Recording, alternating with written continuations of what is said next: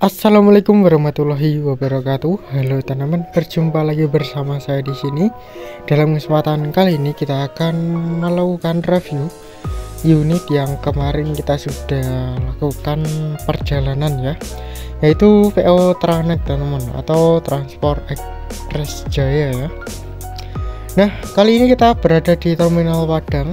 Kali ini untuk bodinya menggunakan bodi Skylander dari New Armada ya. Dan untuk modnya seperti biasa dari Asik FM dan liverinya ini saya dapatkan dari grup ya. Nah buat teman-teman yang baru bergabung selamat bergabung. Dan jangan lupa untuk like, comment, share, and subscribe. Dan nyalakan lonceng notifikasinya supaya tidak ketinggalan video terbaru dari saya. Oh ya disclaimer dulu ya. Ini untuk unitnya. Aslinya menggunakan unit yang versi pertama ya bukan yang facelift harusnya. Namun karena adanya yang facelift jadi untuk liverinya itu agak sedikit nggak nyambung namun nggak apa-apa karena cuma beda dikit kok nggak ngaruh gitu ya.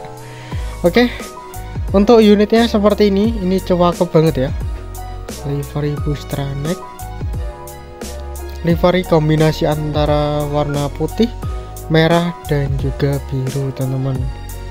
Tuh coba cakep ya apalagi ada logo kuda atau unicorn ya di bagian sini. Tuh coba kepal pokoknya. Oke seperti apa fitur-fiturnya? Kita langsung aja review ya.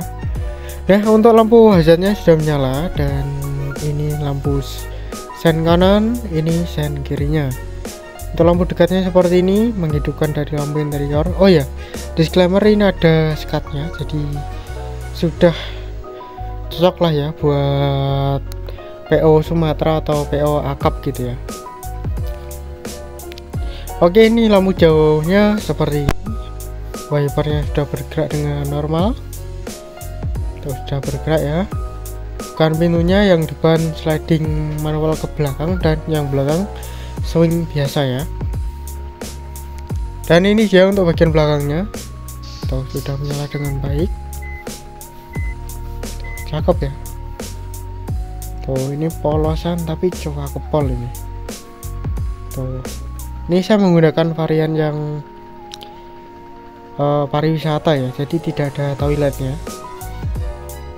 Oke langsung aja kita ke animasi. Pertama suspensi kedua adalah fake shadow bisa diangkat dan juga map ya. Ketiga itu bagasi dan juga kap mesin belakangnya. Tuh cakep udah bisa bergerak tentunya. Dan kita langsung aja buat perjalanan. Jalan-jalan rotas sebentar ya karena kemarin itu kita sudah melakukan video perjalanannya ya. Jadi di balik teman-teman Oke ini kita langsung aja lurus.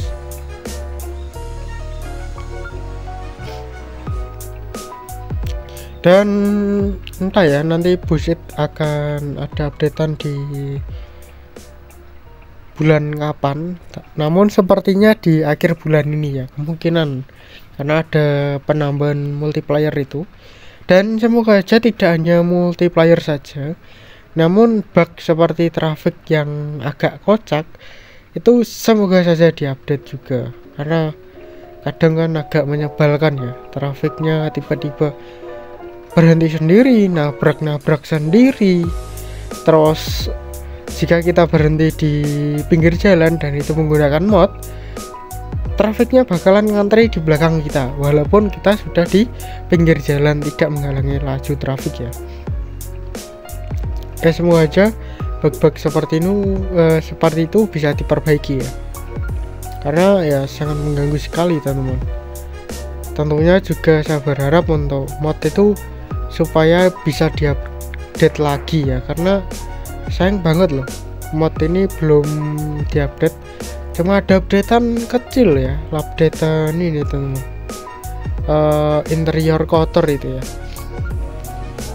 Dan semenjak busit diupdate lagi ini mudah penyok ya sekarang itu. Jadi ya semoga aja tidak mudah penyok lagi.